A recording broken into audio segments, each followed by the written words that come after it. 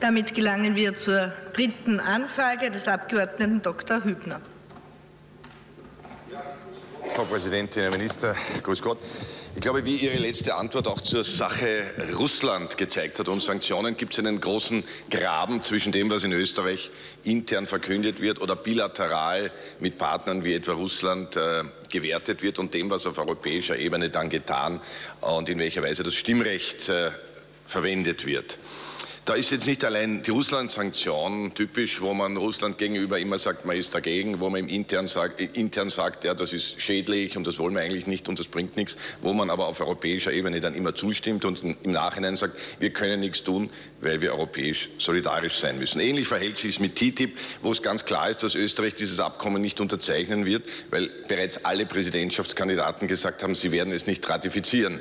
Auch hier im Inland nein, auf europäischer Ebene kein Ansatz dazu klarzustellen, Kinder vergesst das, weil Österreich wird es ebenfalls nicht ratifizieren.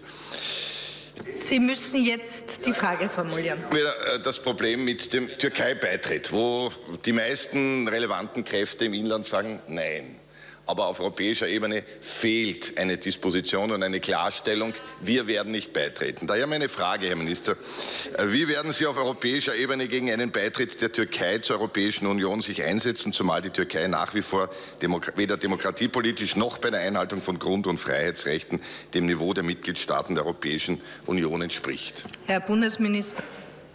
Grüß Gott, Herr Dr. Hübner. Vielen Dank für Ihre Frage. Zunächst einmal, zunächst einmal ein paar Worte zu Ihrem Seitenhieb auf äh, die europäische Politik oder die österreichische Rolle in Europa. Ich glaube, dass es einen großen Unterschied macht, ob man europäische Politik mitgestalten möchte, das auch tut und auch zur Kenntnis nimmt, wenn es andere Mehrheiten gibt, oder ob man bei jeder Frage seine Vetomöglichkeit auf den Tisch legt. Ich glaube, dass es schwierig wäre, bei jeder Frage sofort mit einer Vetodrohung in die Diskussion einzusteigen, weil das zerstört das europäische Projekt. Insofern verfolgen wir unsere Positionen, die wir im Inland artikulieren, zumindest ich tue das, auch auf europäischer Ebene sehr klar. Und ich habe mich gerade, was die Russlandfrage betrifft, sehr stark dafür eingesetzt, auch Partner zu finden, die eine ähnliche Sichtweise haben wie wir. Wir äh, sind auch froh, dass diese Gruppe immer größer wird, die, die sagen, wir wollen nicht ein Gegeneinander und einen Konflikt, sondern wir wollen ein Aufeinander zugehen und wir wollen am Ende des Tages Frieden.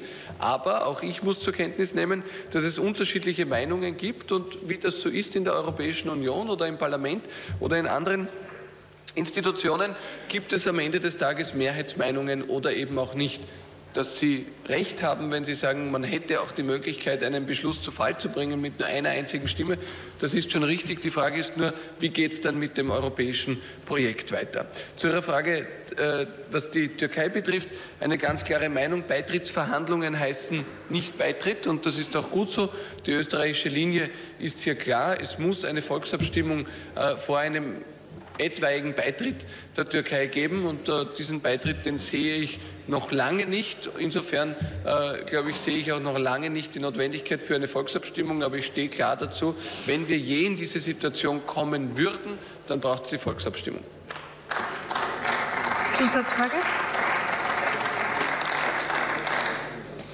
Herr Minister, jetzt ist ja ein Abkommen, ein Rücknahmeabkommen gemacht worden, das mit der Türkei von 2016. Und dieses Abkommen äh, sieht ja im Gegensatz zu dem, was wir eigentlich bei anderen Rücknahmeabkommen anstreben sollten oder auch anstreben werden, vor, dass man für jede Rücknahme einen Einwanderer einnimmt, äh, aufnimmt. Also ein quasi Abkommen, in dem die äh, Masseneinwanderung legalisiert wird, abhängig davon, wie viele illegale Einwanderer ein Land über die Grenze schickt. Halten Sie angesichts der demografischen Situation in Österreich, angesichts des Umstandes etwa, dass wir im vergangenen Jahr fast 100.000 Asylwerber gehabt haben, 100.000 sonstige Einwanderer und etwa 80.000 Geburten, also hier eine massive Änderung unserer Bevölkerungszusammensetzung sehen, halten Sie ein solches Abkommen für sinnvoll und werden Sie das weiter unterstützen? Herr Bundesminister.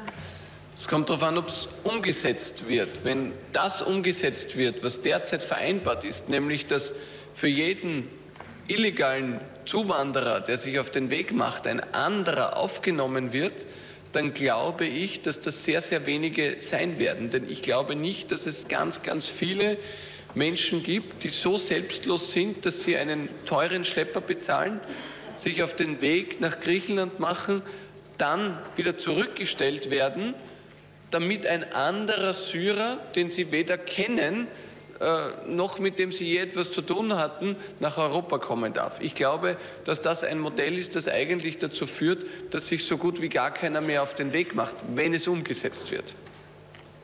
Zusatzfrage, Frau Abgeordnete Dietrich.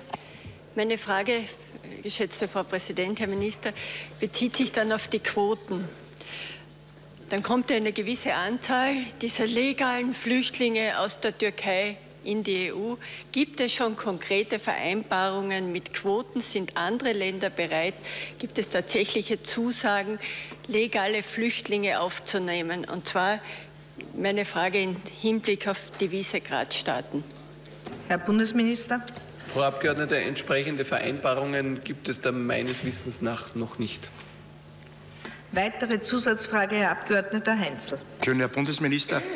Mich würde interessieren, wie Sie aktuell die Einhaltung der Menschenrechte in der Türkei beurteilen, insbesondere in Bezug auf die Kurden. Herr Bundesminister. Ja, ich sehe mit großer Sorge die Entwicklung der Situation der Kurden in der Türkei. Es äh, gab hier einige Jahre doch eine sehr positive Entwicklung, ähm, auch sehr gute Gespräche zwischen Kurdenvertretern und äh, der Regierung. Ähm, es gibt jetzt eine deutlich schlechtere Entwicklung und insofern tun wir auch alles, um unsere Kanäle zu, zu beiden Seiten zu nutzen, um hier auch zu einem besseren Miteinander aufzurufen.